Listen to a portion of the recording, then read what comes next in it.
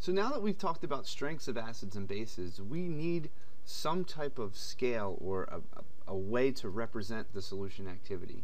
And the pH scale is this convenient way to represent the acidity of a solution. And we're going to define pH as the negative log of the H plus concentration. And we use a logarithm here because typically we have very, very, very small concentrations of either H plus or OH minus. So if our H plus concentration is 1.0 times 10 to the minus 7, then our pH is going to equal 7. Okay. Um, in addition to representing the, the pH, we can also say something called the pOH, which is our negative log of our OH minus concentration. Okay. We can also use something called a pKa, which is going to be our negative log of the Ka. So anytime you see a lowercase p in front of something, it means we're taking the negative log of that.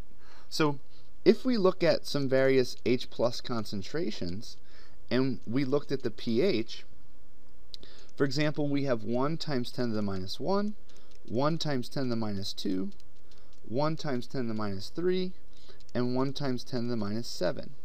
The pHs of each of these are going to be 1, 2, 3, and 7 respectively because we would take the negative log of that. And as we can see here, the lower the pH, the higher the H plus um, concentration in solution. So we can um, measure the pH using something called a pH meter, which is a very common uh, instrument that you're going to be using in lab. So let's kind of uh, look at our H plus concentration, our pH, and then what uh, significance we would have for some of those. So here if we have 1 times 10 to the minus 14, um, 1 times 10 to the minus 7, uh, 1 times 10 to the minus 3, and then 1. So our pH is here.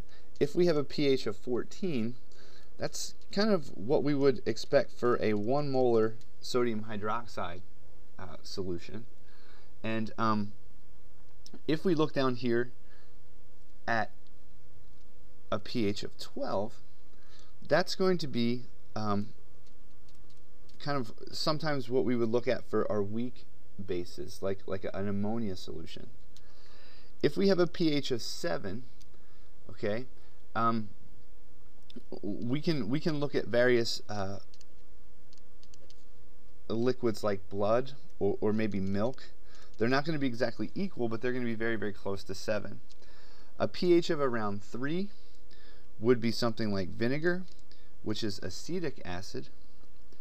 A pH of two is what our stomach acid would have a pH of. And if our H plus concentration is 1, the, the pH is going to be 0. So, so this kind of gives uh, kind of a, a, a, baseline of, of where the, the pH scale is and, and how we're going to look at these things. So we're going to do um, many calculations involving pH and the, the key thing here is that whenever you see a lowercase p in front of something, such as the pH, it's going to be the negative log of the H plus concentration.